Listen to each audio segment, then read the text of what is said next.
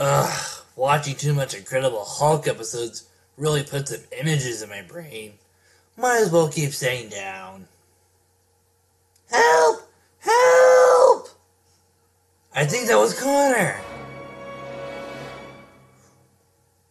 Don't worry, Connor. I'm coming to help you, my faithful idiot.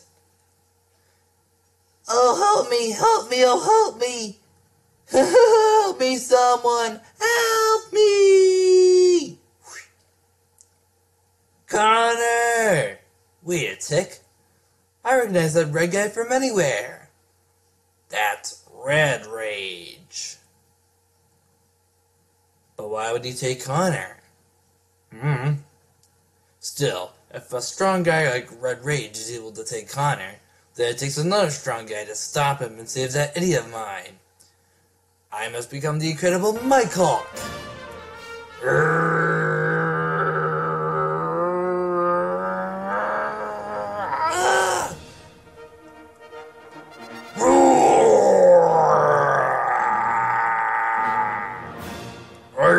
the incredible Mike Hulk.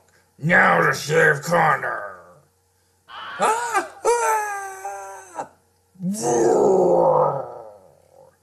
Feel my wrath! Roar! Yay, buddy, you're so strong. Ah! Roar!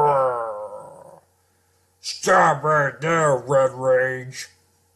Well, well, well, if it isn't the Mike Hulk. You'll never get Connor back, not even in a million years. Seems like a long time. Come at me, bro. Oh, I will. Mike Smash!